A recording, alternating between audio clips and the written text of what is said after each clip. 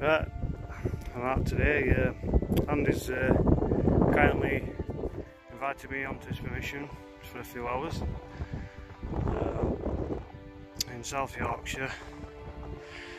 Uh, unfortunately, uh, my headphones from my machine didn't uh, work, so I've had to take them back. I'm using just loudspeaker only. So I'm hoping it's just battery charge, it's flat and uh, notes are here so I've just got a signal here I'll show you what it sounds like. Find it. Lost it now there give me 80 to get out see what it is. Yeah, that's uh, last signal turned out to be a big piece of iron. It's, uh, it's harder, harder to tell without no headphones. So um, carried on. I've uh, vaulted a couple of settings with sensitivity and ground balance and uh, signal just here. I'll let you have a listen to this. Use it up program. It's giving me uh, 69.70. Catching a bit. Turned out to be foil.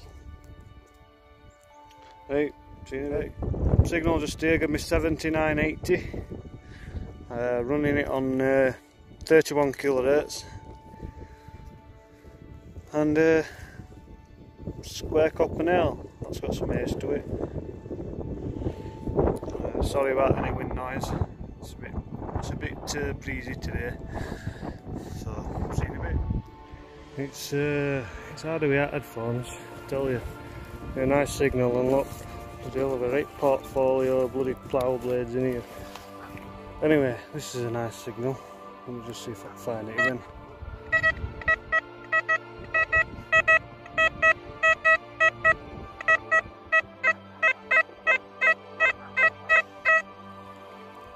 See what it is. And it turned out to be that rubbish. Aluminium. Hey. One more for collection, see you in a bit.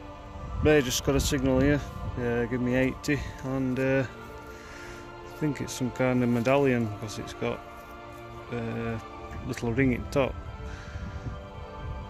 I think it might be a chain or something. But I'll clean it up anyway and uh, show you what it is. I think it's made of nickel. Oh, see in a bit.